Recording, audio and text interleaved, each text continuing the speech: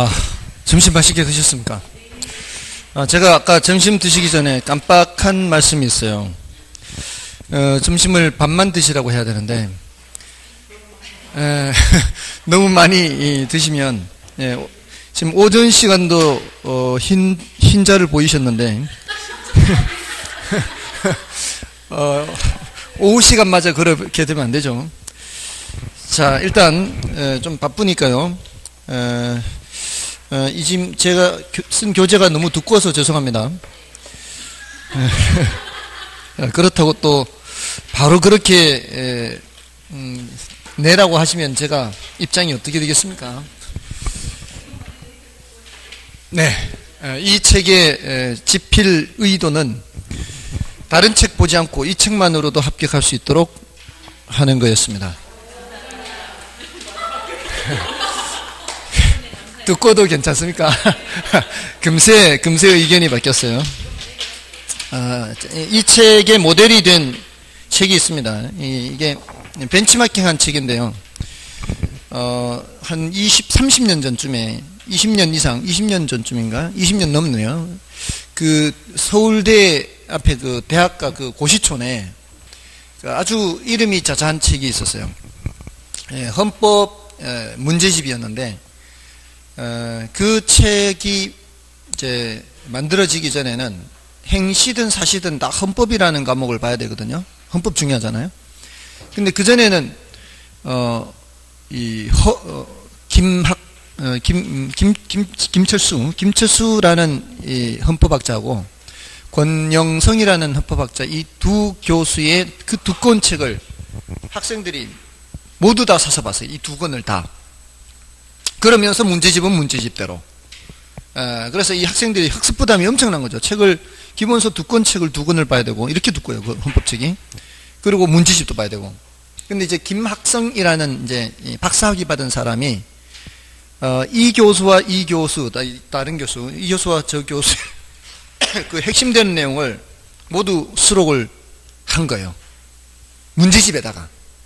문제집에다가 가장 핵심되는 내용만 따로 수록을 하고 기출 문제도 이렇게 수록하고 그래서 문제가 있고 이론 정리가 있고 문제가 있고 이론 정리가 있고 그래서 그 사람이 그 책을 만든 이후로 그 두 학자의 기본서가 안 팔렸어요. 그 기본서가 안 팔렸어요. 예, 그럴 수밖에 없죠. 거기에 예, 이론 정리가 다 돼 있으니까.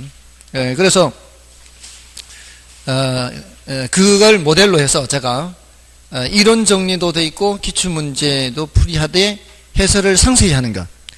에, 그렇게 해서 만들자라고 해서 아이디어를 내서 어, 이제 에, 민법은 이제 다른 분한테 이제 했고요. 에, 제가 아무튼 결론을 이렇게 만들었는데 어, 요 책을 만든 이후에 어, 여기 이제 원래 정식으로 출판하는 다른 출판사도 있어요 또. 에, 그 출판사가 한 번도 광고를 하지 않았어요.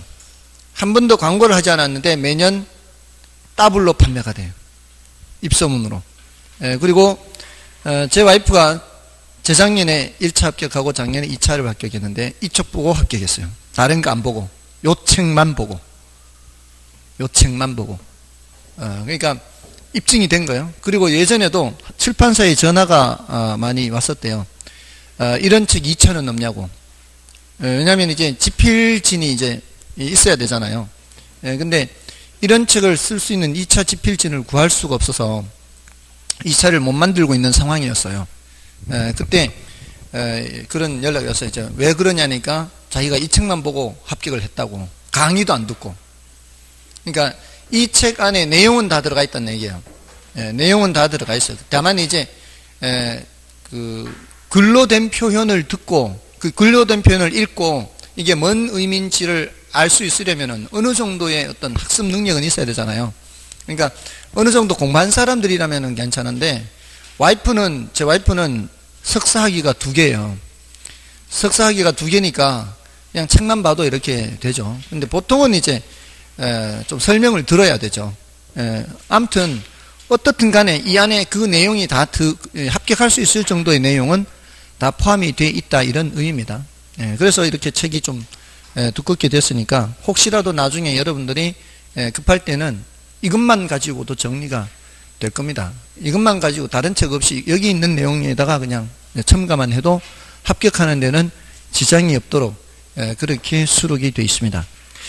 자, 이제 기출문제를 이제 분석하면서 좀 풀 텐데요. 하루에 80문제 분량을 진도를 나가야 돼요. 그러니까 80문제를 풀 수 있는 것도 아니고요. 지금 단계에서는 80문제를 푼다는 게 의미가 있는 게 아니에요.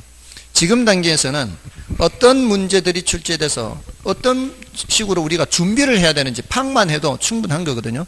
지금 당연히 이, 이 문제를 풀어서 어, 해결할 수 있다면 공부할 필요가 없죠. 그냥 바로 시험 보면 되는 거니까.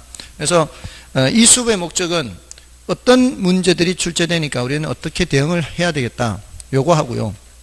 다음에 이제 계산 문제가 조금 이제 문제가 되는데 여기에 계산 문제가 어느 어느 정도가 있는가 하면은 한 80문제 음, 가까이 70 80문제 가까이 돼요. 계산 문제가.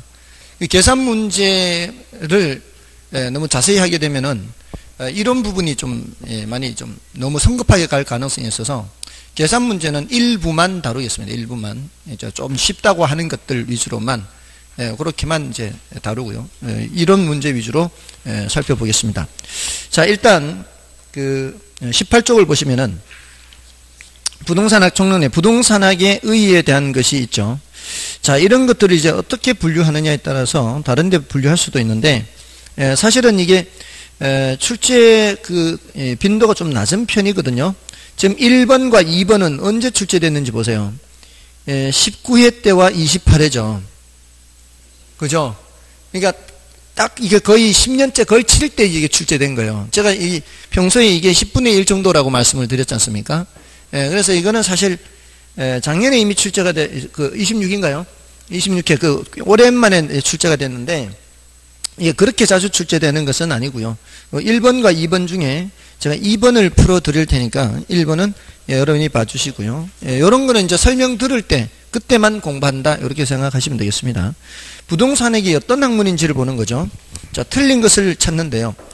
에, 1번의 과학을 순수 과학과 응용 과학으로 구분할 때 부동산학은 응용 과학에 속한다.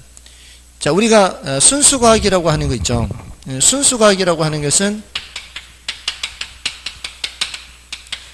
이론 탐구 자체가 목적이에요.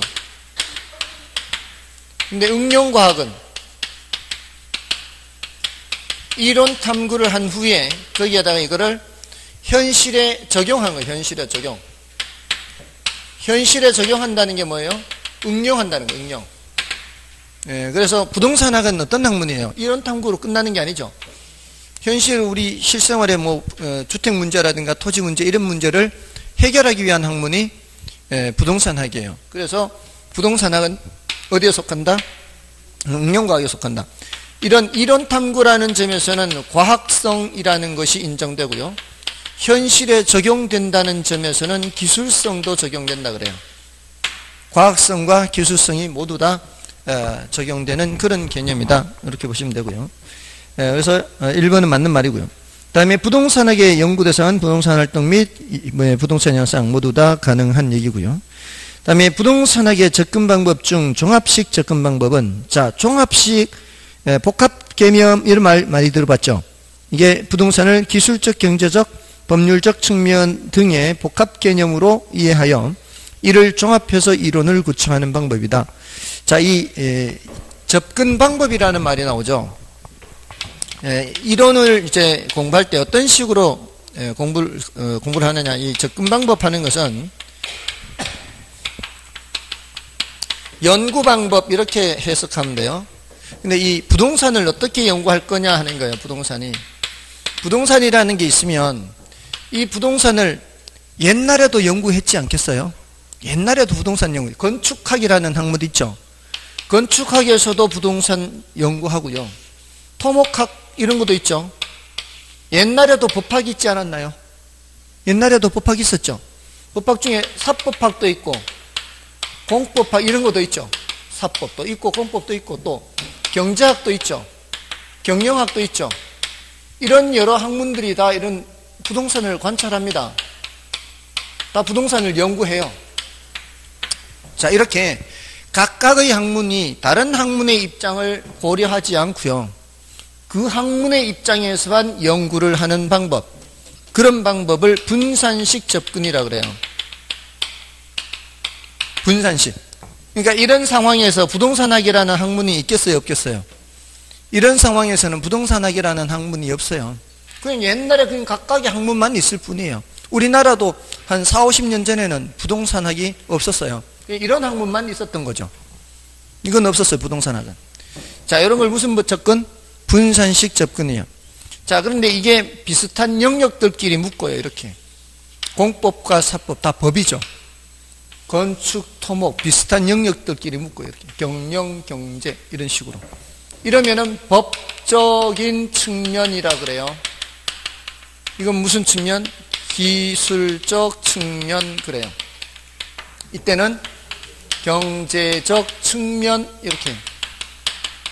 자, 이런 특정 측면만 보는 거예요.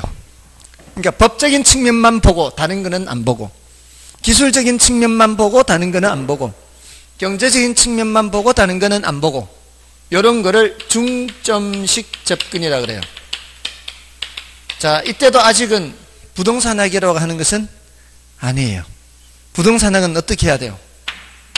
얘네를 종합적으로 다 봐야 돼요. 종합식 접근. 예, 이름으로서 비로소 이제 부동산 학이라고 하는 것이 예, 이제 접, 자리를 잡게 된 거죠. 부동산 학이라고 하는 것이 예, 자리를 잡게 되는 거예요. 자, 그런 연구 방법이 있다라는 정도 한번 설명 들을 때 이제 체크하시면 돼요. 3번 맞고요. 다음에 부동산학은 다른 학문과 연계되어 있다는 점에서 종합학문적 성격을 지닌다. 당연하죠. 예, 부동산학은 이걸 다 보잖아요. 다 보니까 다른 학문과 연계되어 있다. 이렇게. 자, 이제 5번은 별로 중요도가 높지 않은 게 정답이 된 예외적인 거예요. 그러니까 여기 있는 건 좀 예외적인 문제라 볼 수 있고요. 예, 그 부동산학의 일반 원칙으로서 안전성의 원칙 있죠. 예, 안전성의 원칙은 소유 활동에 있어서 최유효, 어, 최유효 이용을 지도 원리로 삼고 있다. 이렇게 하고 있죠. 자, 이게 그 틀린 건데요. 최유효 이용의 의미가 뭐예요? 효율적으로 이용하는 거 아닌가요? 효율적으로 이용하는 것은 능률성의 원칙과 관계 있다 하고요. 지금 안전하게 하려면 어떻게 해야 돼? 안전하게 하려면. 안전하게 하려면은 돌다리도 두드려 보고 이런 식으로 해야 되죠. 그러니까 안전성의 원칙과 능률성의 원칙은 서로 예, 상반된 개념. 예, 그래서 틀린 표현이고요. 중요도는 낮, 낮고요. 예, 이거는 이제 예, 여러분들이 그 해설을 보시고 참고로 보시면 된다 이렇게 생각하십시오. 예, 다음에 이제 예, 나머지 3번은 3번은 예, 뒤에 이제 부동산 특성이나 이런 거하고 연결이 돼요. 그래서 이거는 뭐 예, 따로 안 봐도 돼요. 여기에 분류해도 되고 이거는 부동산 특성에 분류해도 되기 때문에 예, 뒤로 넘어가셔도 됩니다. 다음에 4번, 5번이 있죠. 4번, 5번 이거 별로 중요하지 않습니다. 중요하지 않은데 이게 이렇게 묻는 음, 것은 좀 제가 봤을 때는 별로 그렇게 좋은 현상은 아닌다 어, 생각이 들어요. 참고로 생각하시면 돼요. 참고. 참고로 이렇게 표를 보시고 어, 참고로 보십시오. 25페이지 가시면은 4번에 표가 있죠. 그게 이제 우리나라 표준 한국 표준산업 분류상 부동산업 분류를 한 거거든요. 일단은 어떻게 하면 이제 분류를 하면 되는가 하면은 그 크게 대분류로 어떻게 돼 있어요? 임대 및 공급업 이렇게 돼 있죠. 임대 및 공급업. 그 밑에는 서비스업 이렇게 돼 있죠. 임대 및 공급업이요. 둘 다 공급이에요, 공급. 임대도 공급이고, 밑에 그냥 공급도 공급이죠. 그러니까, 에, 그걸 소분류로 어떻게 하고 있어요? 임대업과 개발 및 공급업 이렇게 하고 있죠. 그러니까 개발 및 공급업은 결국 개발이란 얘기고요. 임대는 에, 에, 매입해서 임대하는 거죠. 다 6811번이나 6812번이나 모두 다 공급이에요, 공급. 근데 그게 공급이 어떻게 공급해요? 주거용 건물 공급, 비주거용 건물 공급, 에, 또 기타 부동산 공급 이렇게 돼 있잖아요. 임대도 그런 식으로 임대하는 거. 그러니까 주거용, 비주거용, 에, 그다음에 기타 이렇게 하고 있단 말이에요. 그런 것처럼 이렇게 분류를 하고, 그 다음에 서비스에는 어떤 게 있어요? 관리, 중개, 자문, 평가. 그러니까 예, 네 개로 나누면 이거예요. 이 서비스를 관리, 예, 자문, 중개, 평가. 자문과 중개, 보통 이제 컨설팅 많이 얘기하잖아요. 컨설팅. 그죠? 예, 컨설팅 수수료는 한도가 있어요, 없어요? 컨설팅 한도는 수수료 한도가 없죠. 보통 그래서 중개하면서 컨설팅 하면서 컨설팅 수수료를 이렇게 많이 받고 이렇게 중개 수수료는 따로 이렇게 하고 이렇게 하잖아요. 이게 다 서비스라는 거죠. 그 외에 이제 감정평가, 우리 뒤에 감정평가 있고 부동산 관리. 됐나요? 참고로 들었어요, 참고로. 뭐 별로, 예, 이건 참고예요. 이제 본론은 어디에요? 예, 23쪽에 이제 부동산의 개념과 분류 여기서부터요. 자, 부동산 개념과 분류. 개념 나왔죠, 개념. 자, 부동산 개념 하면은 예, 질문을 이렇게 하잖아요, 문제에서. 예, 부동산 개념 이런 질문을 하면은 우리는 뭐가 정리가 되어 있어야 돼요? 법, 경, 기, 요게 정리가 되어 있어야 되죠. 법적 개념은 다시 뭐로 나눠지고요? 협의의 부동산과 광의의 부동산 나누어지고 협의의 부동산은 뭐와 뭐를 얘기하고요. 토지와 그 정착물. 광의의 부동산은 토지와 정착물에다가 준 부동산이 더해진다는 거죠. 여기에서 정착물을 조금 더 자세히 해야 되고 준 부동산에 대해서 체크하고 정착물은 다시 독립 정착물과 종속 정착물로 나누는데 독립 정착물에 네 가지가 있었죠. 건물, 명인, 방법 갖춘 수목, 농작물, 임목 네, 이런 정도. 이러면은 이거 요거는 이제 단어만 구별하면 되니까 단어만 구별하면 되잖아요. 이제 요게 정리가 돼 있어야 돼 부동산 개념은. 자 그러니까 예, 6번을 보시면은 예, 경제적 개념의 부동산은 자본 자산으로서의 특성이 경제적 개념은 여기 들어오잖아 이게 여기 자본 자산 있죠. 예, 상품으로 보는데 소비재 예, 생산 요소 다 보지만 이게 자본 자산 맞고요. 다음에 좁은 의미의 부동산 했으니까 여기 아니에요. 좁은 의미 부동산은 토지 및 그정착물 맞지 않습니까?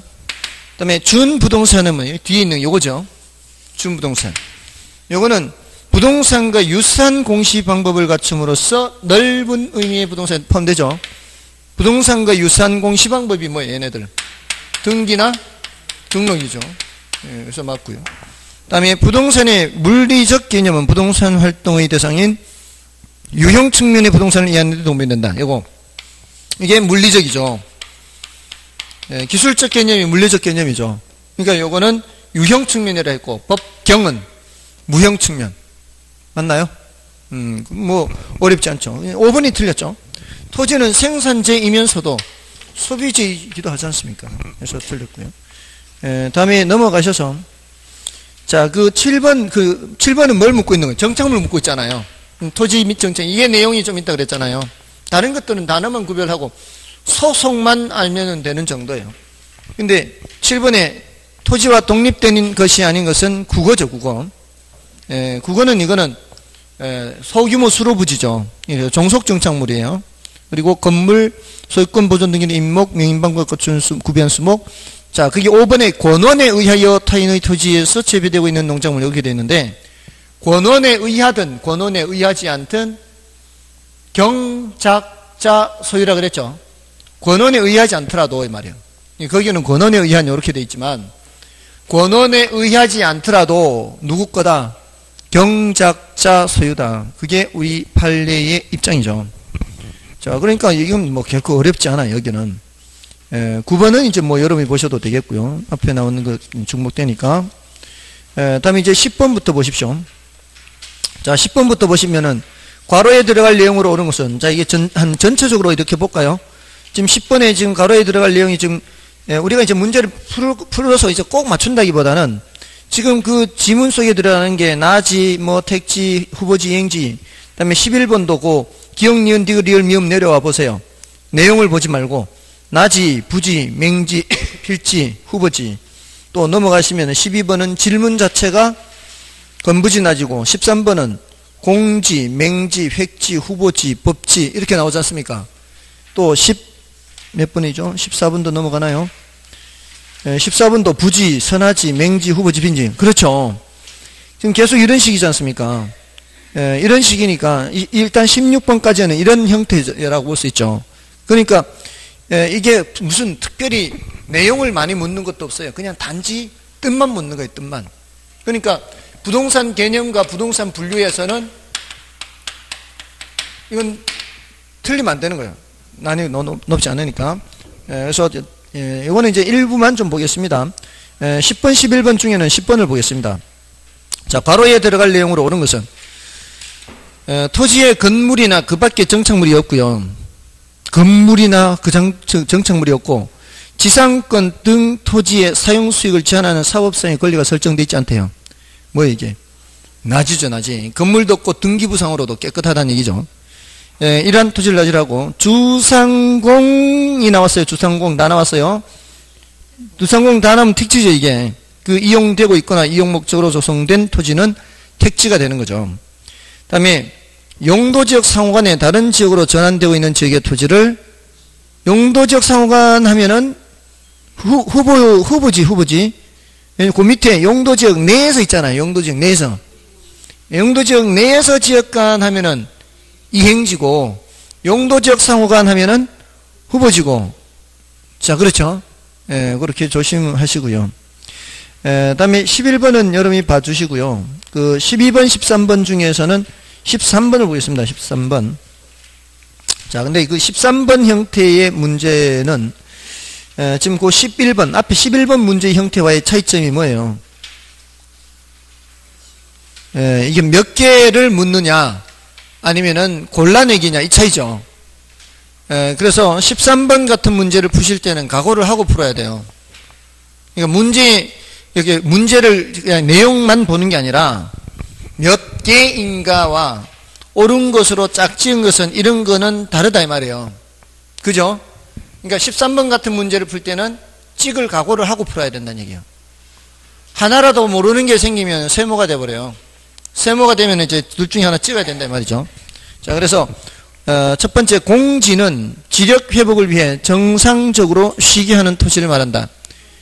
예, 정상적으로 쉬게 쉴 휴자라 그랬죠. 그래서 이거는 에, 무슨 토지? 휴한지 쉬게 하는 거니까 쉬게 하는 거 휴한지 휴한지 에, 다음에 두 번째 맹지 이게 제일 쉽죠 예, 맹지는 에, 타인의 토지에 둘러싸여 도로와 접하고 있지 않은 토지 예, 요거는 맞는 말이죠 자 요거는 맞고요 다음에 획지는 하나의 지분을 가진 토지 등기한단이다 예, 등기한단인 필지죠 틀렸고요 다음에 후보지 또 나왔네요 임지적 농지지역 택지지역 상호간에 하고 있죠. 상호간에 하면 뭐예요? 후보지. 그 내에서 하면은 이행지 이렇게. 그래서 어, 맞는 말이에요. 그다음에 법지는 소유권은 인정되지만 이용 실익이 없거나 적은 토지. 이것도 맞는 말이죠. 예, 그래서 어, 세 개가 옳은 표현입니다. 지금 보세요. 이게 다 뭐를 묻고 있어요? 뜻을 묻고 있죠. 뜻을. 예, 예그 별로 어렵지는 않은 거죠. 예, 다음에 넘어가셔서 14번도 어, 함께 볼까요? 자, 14번.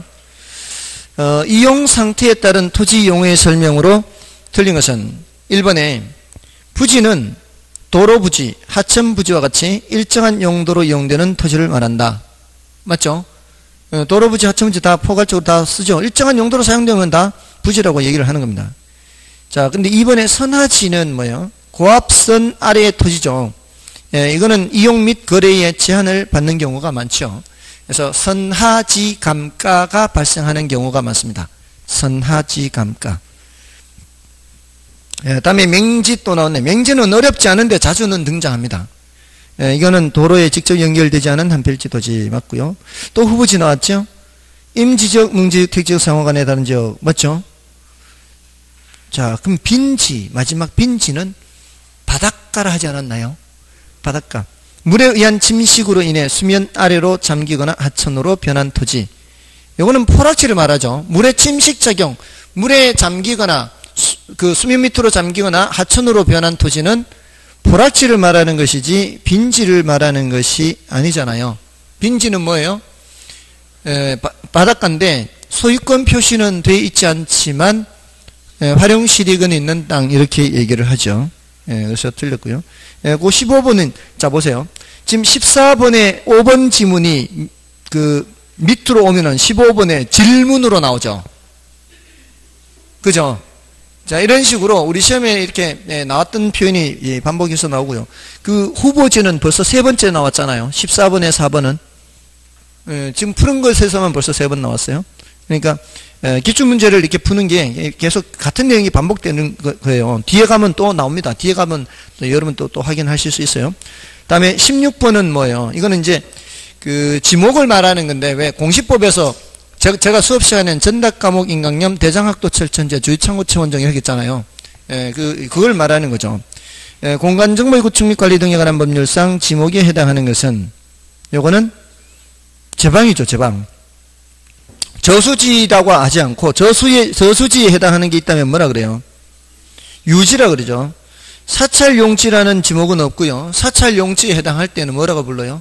종교 용지라고 하죠. 다음에 3번이나 5번은 뭐 특별히 따로 얘기할 수는 없고요. 경우에 따라 다르니까. 에, 다음에 이제 그 17번도 분류고 18, 19, 20자 이 부동산 분류인데 17번은 이거는 중요도가 낮아요. 17번은 중요도가 낮고 난이도가 높습니다. 왜냐하면은 지금 2번 지문 보세요. 17번의 2번 지문.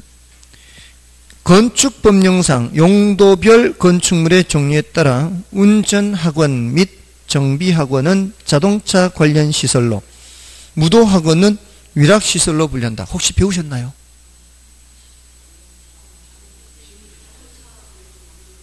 자동차학원은 맞는 것 같고 무도학원은 무도학원이 뭐예요? 무도학원 카바레 뭐 이런 거 아니에요?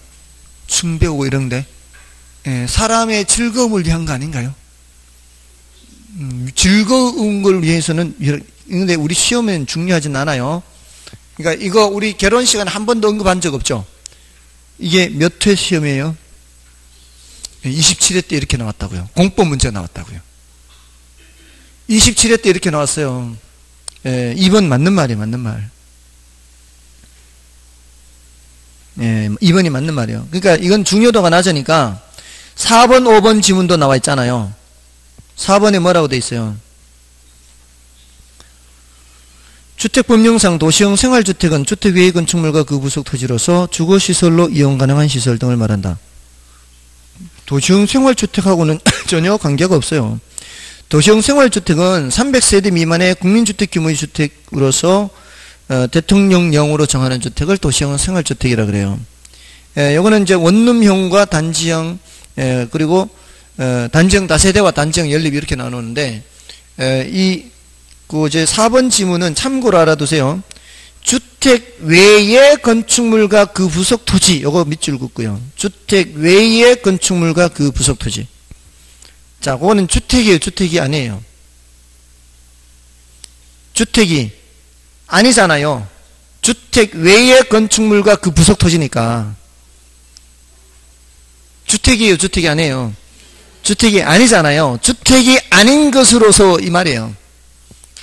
주택 외의 건축물과 그 부속 토지로서 이 소리는 주택이 아닌 것으로서 주거시설로 이용 가능한 시설 이렇게 해석할 수 있다고요. 주택이 아니면서도 주거시설로 이용 가능한 시설 뭘까요? 그런 거. 그러면 부동산이 아니면서도 부동산처럼 취급하는 걸 뭐라 그래요? 주택이 아니면서도 주거시설을 이용할 수 있는 것은 준주택이에요. 준주택. 음, 준주택의 정의예요. 준주택의 정의. 그러니까 에, 도시형 생활주택의 정의가 아니라고요. 됐나요? 예, 참고로 아는 거예요. 우리 결혼해서 이거는 알 필요 없잖아. 사실 이거는 어디서 하는 거예요? 공법에서 공법에서. 그다음에 5번도 마찬가지예요. 예, 5번도 에, 그 국토의 계획 및 이용에 관한 법령상 이렇게 나와 있잖아요. 예? 에, 예, 이거는 에, 예, 역사문화환경보호지구 이렇게 하는 거예요. 중요시설물 보호지구가 아니고요. 역사문화환경보호지구. 그러니까 이런 거를 결혼시험에 물으면 이건 틀리란 얘기죠. 아시겠죠? 그러니까 여러분들도 이거는 그냥 듣고 지나가는 거예요. 예, 공법에서 혹시 도움이 될, 된다면 모를까. 결혼에서는 뭐만 보면 되는가 하면은 1번, 3번만 본대요. 공법에서는. 그 결혼에서는. 예, 왜냐하면 1번 정도는 했었잖아요. 유지는 했잖아요. 공간 정보 구축 및 관리 등에 관한 법령상 용수를 위하여 일정한 형태를 갖춘 인공적인 수로 뚝 및 그 부속 시설물의 부지의 지목. 이거는 유지 유지가 아니고 유지가 아니고 뭐예요? 국어예요. 국어. 도랑 도랑. 인공적인 수로 및 그 부속 시설물 예, 부지 또는 자연적인 배수지 같은 배수용지 배수로 자연적인 배수로 이런 것들을 국어라 해요. 국어 유지가 아니고 뭐라고요? 국어 유지는 뭘 유지를 해야 돼요?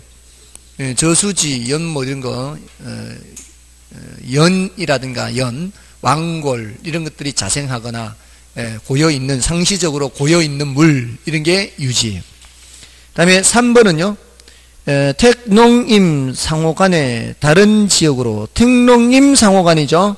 또 나왔잖아 이게. 이거는 이행지가 아니고 후보지죠. 그러니까 1번, 3번 정도는 알아야 되니까 2, 4, 5번 중에 찍으면 되는 거예요. 결혼 입장에서는.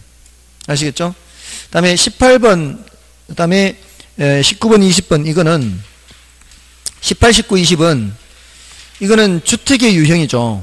예, 더군다나 이거 작년에 출제가 돼서 이제는 중요도가 더 낮아요. 20번에 작년에 출제됐는데 19번을 대표적으로 풀어보고요. 예, 20번은 이제 여러분이 봐주십시오. 그 주택의 유형에 관한 설명으로 옳은 것을 냈죠. 자, 이게 이제 주택의 유형. 자, 뭐 실무적으로도 좀 참고로 알 필요는 있죠.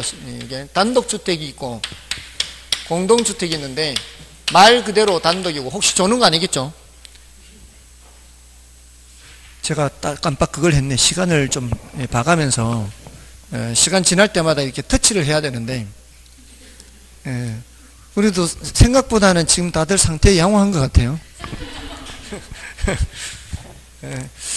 단독주택, 다중주택, 그다음에 다가구 주택. 자, 여기요. 이쪽에 다세대가 이쪽이에요. 그다음에 여기에 연립, 아파트. 자, 단독에 이제 공간이 있고요. 이건 뭐 별로 신경 안 쓰고요, 공간. 여기 이제 기숙사가 있고요. 이쪽에서 이쪽으로 가면 갈수록 이게 규모가 커지는 거라고요. 이쪽에서 이쪽으로 갈수록. 다중은 몇 제곱미터 이하? 330제곱미터 이하고요. 요거는 660제곱미터 이하. 요거 규모가 같다고요, 이거. 요것도 660제곱미터 이하. 여기도 이하. 음, 이하, 이하. 이것도 이하. 근데 이쪽으로는 여기는 660제곱미터 초과. 660제곱미터는 어디로 간다는 얘기예요? 다세대로 간다는 얘기예요. 660은 다세대. 초과니까. 이 하니까 660은 여기 걸려 있는 거예요. 예, 요거는 이제 5계층 이상이죠. 주택으로 사용되는 부분이 5계층 이상. 자, 요 공통점은 규모인데요. 차이점이 뭐예요? 이쪽은 3계층이죠. 3계층. 여기는 뭐예요? 4계층이 4계층. 음, 규모가 점점 커지는 거고요. 그리고 주, 주택으로 사용되는 부분이 4계층이면 뭐예요? 다세대. 주택으로 사용되는 부분이 4계층. 그러니까 필로티 구조의 1층이 주차장이면 총 5층이 되는 거죠. 예, 그럼 여기는 주택으로 사용되는 부분이 3계층이면 3계층 이하죠. 자, 그러니까 여러분이 가셨을 때 눈으로 딱 봤을 때 눈으로 봤을 때 주택으로 사용되는 게 4개가 있어요. 4계층. 뭐예요? 다세대. 주택으로 사용되는 부분이 3계층이 있어요. 음, 그렇게 대답하면 안 돼요. 여기가 세, 네 개 층 이하죠. 네 개 층 이하에 이하. 여기 세 개 층 이하고, 여기 다 이하에 이하. 다 세대인데 세 개 층만 지은 집도 있어요. 규모가 초과되면 안 되니까. 규모가 초과되면 연립으로 가야 되니까. 저는 2층짜리 다세대도 본 적 있어요. 2층짜리 다세대. 한 집이 넓이가 60평, 70평이에요. 한 집이 넓이가 60층, 70평이면 3층, 4층 못 올라가요. 규모를 벗어나니까. 아시겠죠? 그러니까 3개 층이면 확인 들어가야 돼요. 예, 3개 층이면 저게 다 세대인지 다가구인지를 확인 들어가야 되고 네 개 치면 확실하게 뭐고 다세 되고 아시겠죠? 자 그리고 다가구이면은 따로 등기부가 호별로 나와요 안 나와요? 안 나고 다가구면은 따로 등기부가 호별로 안 난다고요. 건물 통째로 난다. 건물 통째로. 그러니까 얘는 등기부 떼려면은 토지 플러스 건물로 가야 돼요. 이쪽은 이쪽은 토지 플러스 건물로 가야 등기부가 나오고 여기는 집합 건물로 가야 나오는 거예요. 집합 건물. 등기부 뗄 때. 아시겠죠? 이쪽은 등기부 뗄 때 집합 건물로 가야 돼. 네, 그런 차이가 있어요. 자, 그럼 여기 이제 얘하고 얘는 차이가 뭐예요? 다중하고 다가구의 차이는 규모가 차이가 있고 일단 요거는 330제곱미터는 뭘 말하는 거예요? 그럼 100평을 말하는 100평. 요거는 200평이죠. 맞나요? 이건 100평, 이건 약 100평이고 약 200평이에요. 자, 그건 이제 면적의 차이가 있고 아주 중요한 차이는 뭔가 하면은 독립주거가 되느냐 안 되냐. 얘는 독립주거가 안 되고 얘는 독립주거가 되는 거예요. 독립주거 되고 안 되고의 결정적인 차이가 뭘까요? 취사, 취사. 먹는, 먹을 수 있느냐, 취사. 그래서 여러분들이 이거 실무를 하실 때에는 다중주택인데 취사가 되는 경우가 있어요. 이건 어떤 경우예요? 불법 개조한 거예요. 불법 개조. 그럼 어떻게 해야 돼요? 중개할 때 확인 설명 의무가 있죠. 확인 설명해 줘야 된다고요. 이 매수인한테. 이 이거는 원래는 다중주택인데 지금 불법 구조 변경을 했기 때문에 이거 나중에 단속 나오면은 이거 음, 해야 된다. 그런 걸 알고 계시라고 설명 들었죠. 하고 사인. 그러니까 확인 설명해야 된다고요. 됐나요? 음. 자, 그런 차이가 있습니다. 자, 아무튼 연립주택은 주택으로 쓰는 한계동의 바닥 면적 합계가 660제곱미터 이하예요, 초과예요. 연립은 초과예요. 층수가 4개층 맞고요. 그다음에 다가구죠, 다가구. 다가구는 단독으로 들어가죠.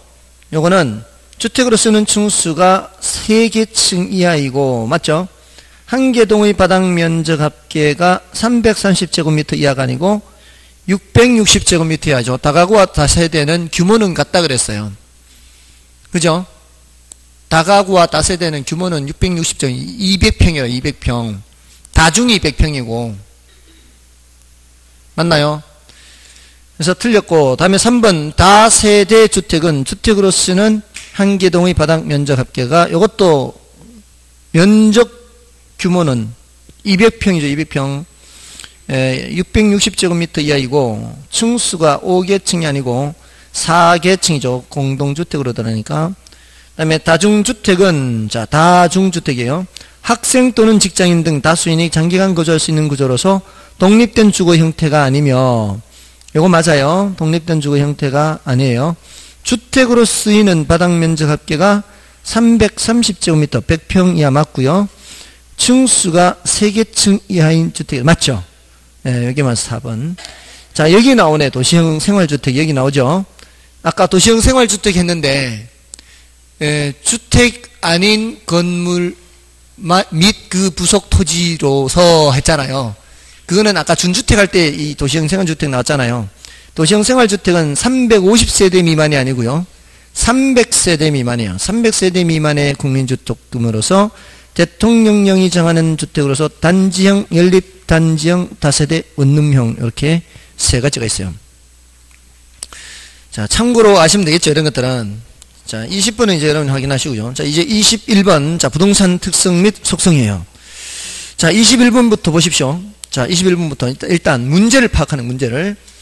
부동산은 다른 재화와 구별된 독특한 특성들이 있다. 이런 특성들을 일반 시장하고 구분된다. 이에 관한 설명. 이게 특성의 파생 현상이고요. 2번, 22번은 토지 특성. 보면은 영속성, 부동성, 부중성, 개별성 이렇게 나오고 있고요. 다음에 23번 두 장 넘겨보십시오. 43쪽에. 자, 거기도 부동산 특성으로 인해 파생되는 특징 해가지고 그 어, 동그라미 1, 2, 3, 4, 5를 보시면 부동성, 영속성, 개별성 이런 거 묻고 있죠.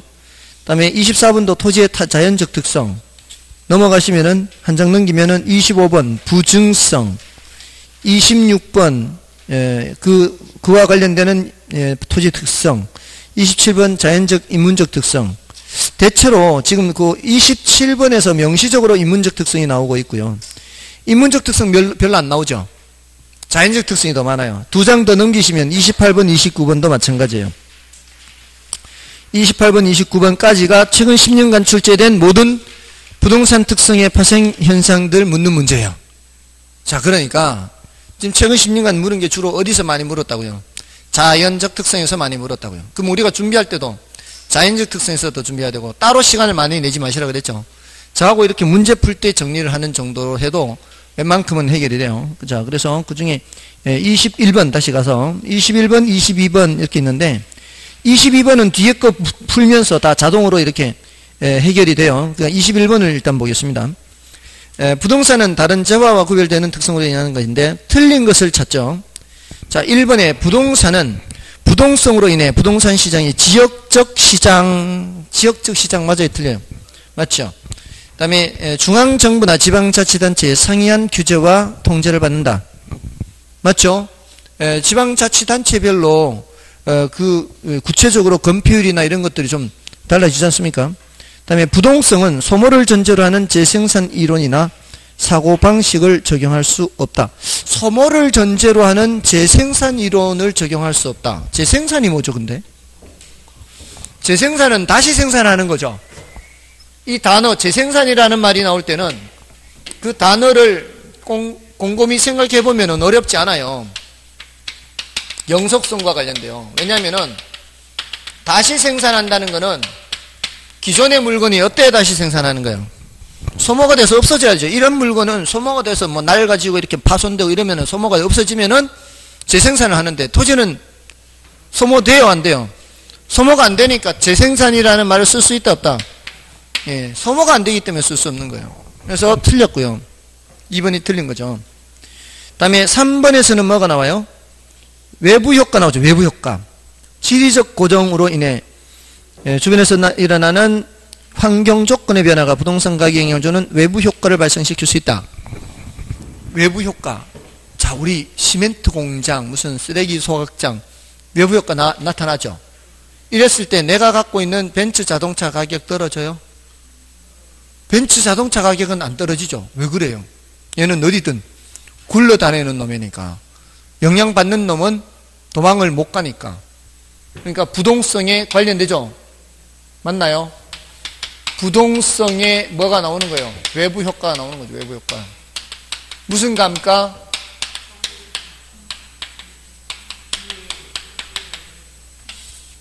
경제적 감가.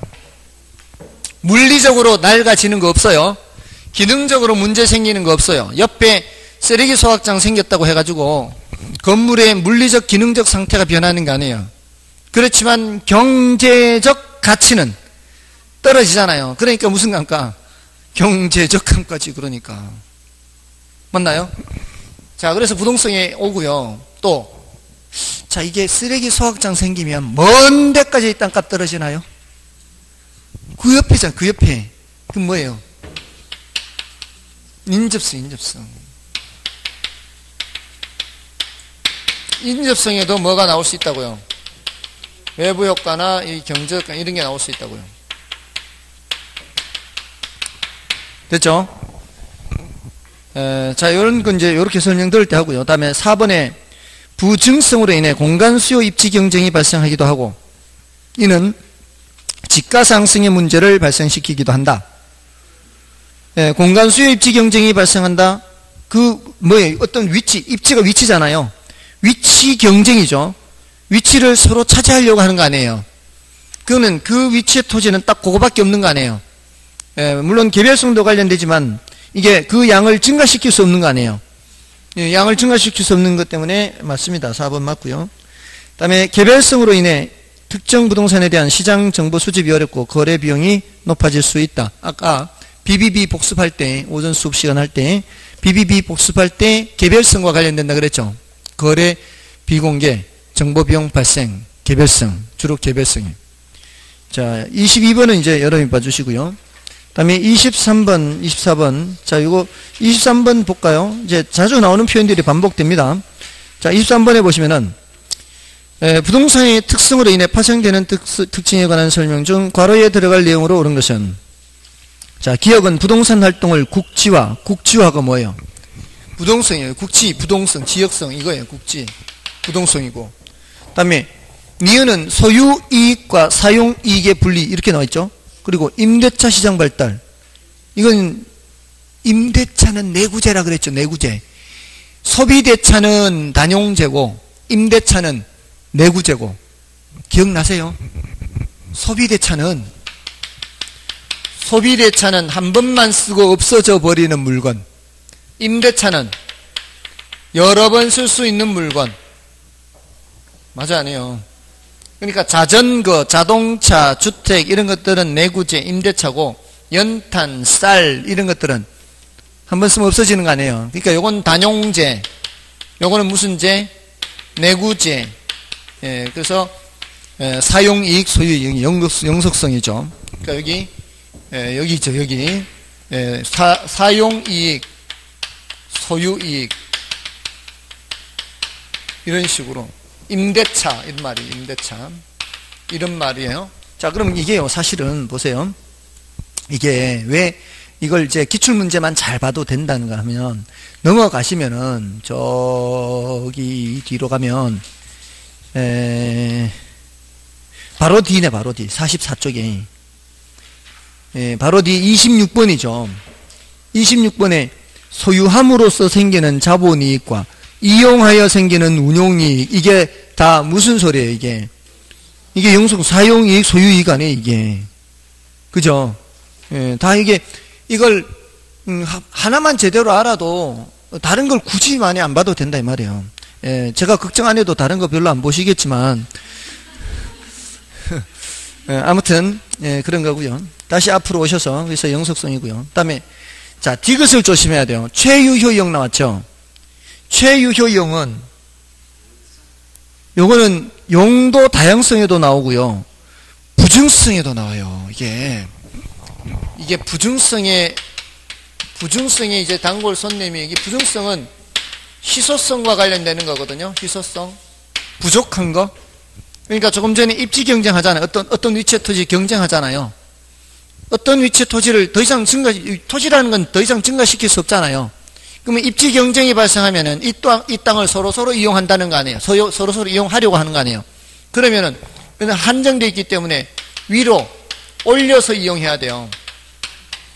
위로 올려서 이용해야 될 거 아니에요. 또 한정된 자원이란 말이에요. 그럼 자원은 가능한 한 효율적으로 이용해야죠. 그럼 뭐예요?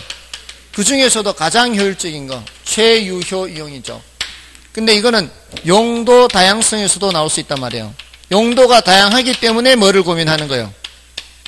최유효 이용을 고민한단 말이에요. 용, 이 최유효 이용의 속에는 효율적 이용이라는 개념도 들어가 있고 여러 가지 중에서 가장 잘 이용하는 거. 그러니까 두 군데 나오는 거예요. 효율적 이용이라는 것도 들어있단 말이에요. 효율적 이용. 왜 효율적으로 이용해야 돼요? 토지라는 자원은 희소하니까 한정돼 있으니까. 자, 그래서 에, 그렇게 이, 다 나올 수 있는데 오늘 여기 우리 교재에서는 지금 기역의 부동성 나왔고요. 니은에 이미 영속성이 나와버렸기 때문에 정답은 자동으로 뒤에 거 안 봐도 디귿이 저 1번이 어, 되잖아요. 디귿의 용도 다양성이 들어가는 거죠. 에, 다음에 리을은 대체 관계를 제약할 수 있다. 자, 요거는 이제 개별성이고요. 됐나요? 됐죠? 자, 일단 좀 쉬겠습니다. 좀 쉬고 나머지는 좀 보겠습니다.